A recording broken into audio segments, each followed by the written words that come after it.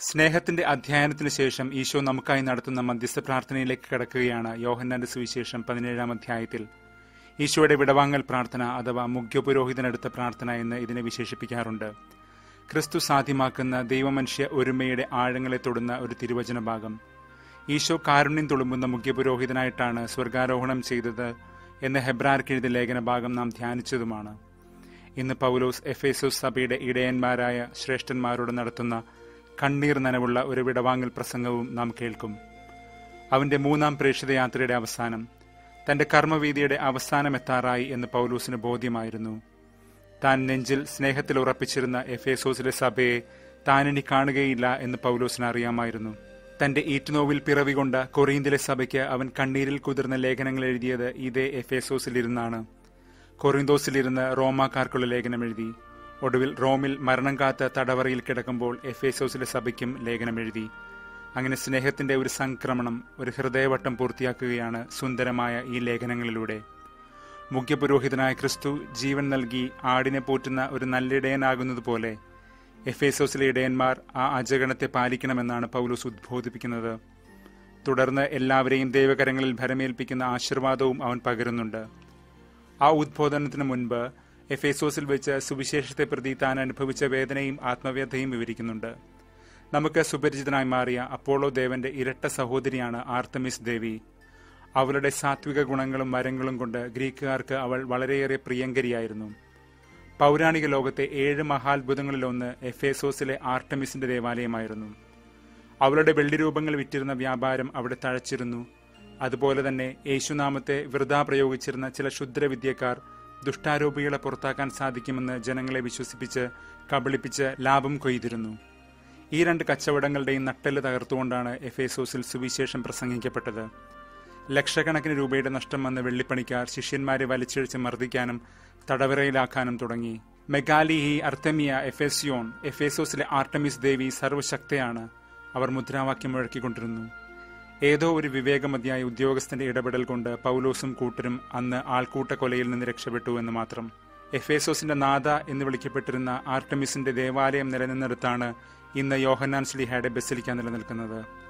ആർട്ടമിസിനു വേണ്ടി മുദ്രാവാക്യം മുഴക്കിയ അതേ നഗരത്തിലാണ് പിന്നീട് പരിശുദ്ധ മറിയം ദൈവമാതാവ് എന്ന് ജനങ്ങൾ ഉദ്ഘോഷിച്ച് നടന്നതും എന്ന് ഓർത്തുപോവുകയാണ്. എഫേസോസിന്റെ നാഥയായ പരിശുദ്ധ കന്യക ആർട്ടമിസ് എന്ന കന്യാദേവിയെ തകിടം മറിച്ചു. പൗലോസിന് ശേഷം എഫേസോസിൽ എത്തിച്ചേർന്നതായിരുന്നു യോഹന്നാൻ ശ്ലീഹ പരിശുദ്ധ മറിയത്തെ അമ്മയെന്ന പോലെ കൂടെ കൂട്ടിക്കൊണ്ട്. ആ ദേശങ്ങളിൽ വെച്ച് തന്നെയാണ് യോഹന്നാൻ ശ്ലീഹ സുവിശേഷവും ലേഖനങ്ങളും വെളിപാട് ഗ്രന്ഥവും രചിച്ചത്.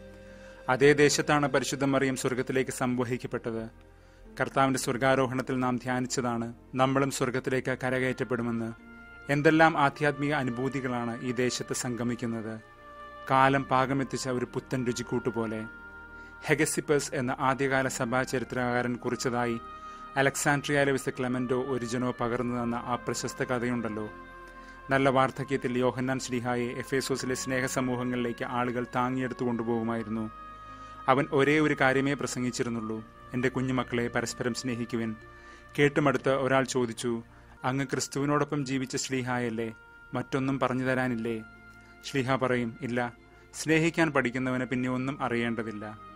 സ്നേഹം എന്ന വാക്കിന്റെ കുത്തൊഴുക്കാണ് യോഹന്നാന്റെ സുവിശേഷത്തിലും ലേഖനങ്ങളിലും. ക്രിസ്തുവിനാൽ സ്നേഹിക്കപ്പെട്ടവരെ എന്നാണ് അഭിസംബോധനകൾ പോലും.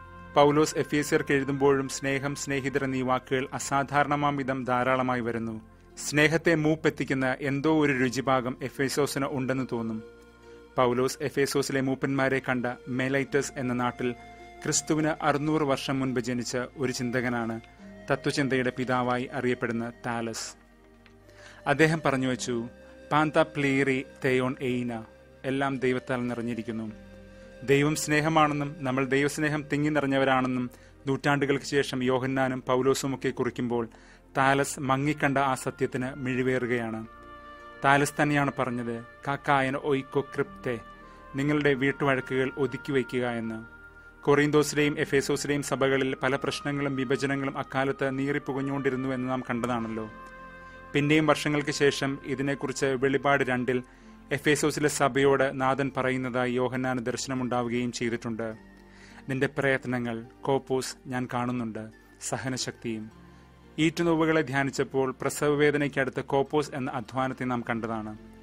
എന്നാൽ നാഥൻ തുടരുന്നു നിനക്കെതിരെ എനിക്കൊന്ന് പറയാനുണ്ട്. നിനക്ക് ആദ്യമുണ്ടായിരുന്ന സ്നേഹം നീ കൈവെടിഞ്ഞു. നീ എവിടെ നിന്ന് വീണുവെന്ന് ചിന്തിക്കുക. എഫേസോസ് സഭയിൽ നീറിപ്പുകഞ്ഞിരുന്ന ചില സ്നേഹക്കുറവുകളിലേക്ക് നാഥൻ വെളിച്ചം വീശുകയാണ് ചില വീട്ടുവഴക്കുകൾ. അതിനെ മറച്ചുപിടിച്ച് കെട്ടിപ്പൂട്ടി വെച്ച് നമുക്ക് തിരുത്താനാവില്ല. മുഖം മൂടികളെ ശരീരത്തിന്റെ ഭാഗമാക്കാൻ നിർബന്ധിതരാകുന്ന നമ്മൾ അത് ആത്മാവിലും ഉറപ്പിക്കരുത്. മുഖംമൂടികൾ നന്നല്ല അത് നിങ്ങൾ നശിപ്പിക്കും. ആർക്കെങ്കിലും മുഖംമൂടി ഉണ്ടെങ്കിൽ അത് കത്തിച്ചു കളയണം എന്ന ആധ്യാത്മിക ഉപദേശം നൽകിയ വിശുദ്ധ ഫിലിപ്പ് നേരിയുടെ തിരുനാൾ ദിനം കൂടിയാണെന്ന്. ക്രിസ്തുനാമം എന്ന മുഖംമൂടി ധരിച്ച് ജീവിത വിശുദ്ധിയില്ലാതെ പിശാചുക്കളെ എതിരിടാൻ പോയവർക്ക് നാശമുണ്ടായത് നാം അപ്പോസ്റ്റർ പ്രവർത്തനം പത്തൊമ്പതിൽ വായിച്ചു വന്നതേയുള്ളൂ. റോമാ നഗരത്തിന്റെ അപ്പോസ്റ്റലൻ എന്നാണ് ഫിലിപ്പ് നേരി അറിയപ്പെട്ടത് പൗലൂസിനെ പോലെ തന്നെ. പിറന്ന നാട്ടിൽ തന്നെ സുവിശേഷം പ്രസംഗിച്ച് തീരില്ല എന്ന് തിരിച്ചറിഞ്ഞ് മിഷണറി യാത്രകളെ ഒഴിവാക്കിയവൻ ചിരിയും തമാശയും കൊണ്ട് ആധ്യാത്മിക പാഠങ്ങൾ പകർന്നവൻ ദൈവസ്നേഹം അക്ഷരാർത്ഥത്തിൽ ഹൃദയത്തിൽ നിറഞ്ഞ് അവന്റെ ഹൃദയഭിത്തികൾ വിങ്ങി വാരിയല്യകളെ തിക്കി ഒരു മുഴ പോലെ ആക്കിയിരുന്നു എന്നാണ് പറയപ്പെടുന്നത്. ക്രിസ്തു ഹൃദയത്തിന്റെ ഒരു ദർശന സമയത്താണ് അങ്ങനെ ഒരു അനുഭവം ഉണ്ടായത്. സ്നേഹമെന്ന വികാരം മാംസളമായ ഹൃദയമെന്ന അവയവത്തിലല്ല ഇരിക്കുന്നത് എന്ന് ശാസ്ത്രീയമായി നമുക്കറിയാം. കവിതകളിൽ അത് ഹൃദയത്തിലാണെങ്കിലും. എങ്കിലും ഹൃദയത്തിന് ഒരു കണ്ണുണ്ട് അത് ദൈവം തുറന്നു തരട്ടെ എന്ന് ആശംസിക്കുന്ന എഫേസോസ് ലേഖനം വായിക്കുമ്പോൾ ഹൃദയം ഇതുവരെ ശീലിച്ചിട്ടില്ലാത്ത സ്നേഹപ്രതിഭാസങ്ങൾക്ക് വശപ്പെടുകയാണ്. തിങ്ങിയും മിങ്ങിയും ചോരയും നീരുമായി പൊട്ടിയൊഴുകിയുമൊക്കെ എഫേസോസിലെ ശ്രേഷ്ഠന്മാരോട് പ്രസംഗിക്കുന്നതിന് മുൻപ് ത്രോവാസിൽ വെച്ച് പൗലോസ് നെടുനീളൻ പ്രസംഗം നടത്തി ഒരു കേൾവിക്കാരൻ ഉറങ്ങി കെട്ടിടത്തിന്റെ മുകളിൽ നിന്ന് വീണതേയുള്ളൂ. എന്നാൽ ഇവിടെ സ്നേഹത്തിൽ കാച്ചിക്കുറുക്കിയ വാക്കുകൾ മാത്രമേയുള്ളൂ. ഒടുക്കം വട്ടം ചുറ്റിപ്പിടിച്ച് ഉമ്മകളും കണ്ണീരും. എഫേസോസിന്റെ സ്നേഹമഴയിൽ കുതിർന്ന് പൗലോസ് കൊറിയന്തിയരോട് പറഞ്ഞതുപോലെ നിങ്ങൾ ക്രിസ്തുവിന്റെതും ക്രിസ്തു ദൈവത്തിന്റെതുമാണ്.